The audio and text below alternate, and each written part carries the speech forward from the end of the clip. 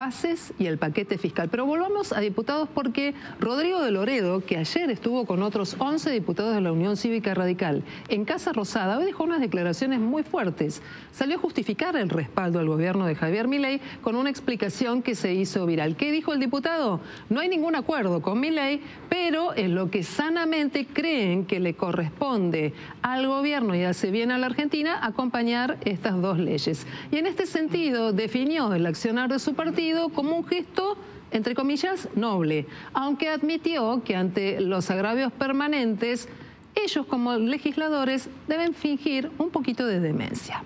¿Cuál es el acuerdo con Milei para, para que usted lo acompañen, pese a que Milei los insulta de arriba abajo? Muy bueno, muy buena la pregunta. no hay ningún acuerdo con Milei. Es lo que nosotros sanamente creemos que le corresponde al gobierno y le hace bien a la Argentina querer o reventar, sino que alguien me lo explique. ¿Vos de Loreo querés integrar el gobierno de Javier Milei? No. ¿Los radicales están pidiendo algo? No.